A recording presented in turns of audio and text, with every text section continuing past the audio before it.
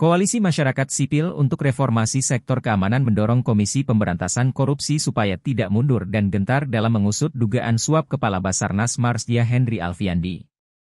Ketua Badan Pengurus Sentra Initiative Al-Araf sebagai salah satu anggota koalisi sipil itu meminta KPK mengusut tuntas secara transparan dan akuntabel dugaan korupsi yang melibatkan Kabasarnas dan Koordinator Administrasi Kabasarnas RI Letkol ADM Afri Budi Cahyanto.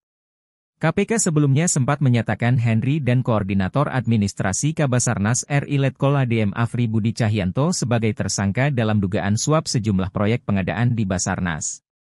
Kasus itu terungkap melalui operasi tangkap tangan terhadap Afri dan sejumlah pihak swasta pada 25 Juli 2023. KPK juga sempat menyatakan penanganan Henry dan Afri diserahkan kepada Puspom TNI dan terdapat bukti yang cukup atas dugaan suap. Bahkan menurut Wakil Ketua KPK Alexander Marwata, anggota Puspom TNI diundang buat menghadiri gelar perkara, dan menyatakan sepakat terdapat bukti yang cukup buat menjerat Henry dan Afri. Akan tetapi, Puspom TNI menyatakan KPK melampaui prosedur karena Henry dan Afri adalah perwira aktif dan yang bisa menetapkan status hukum keduanya adalah penyidik polisi militer.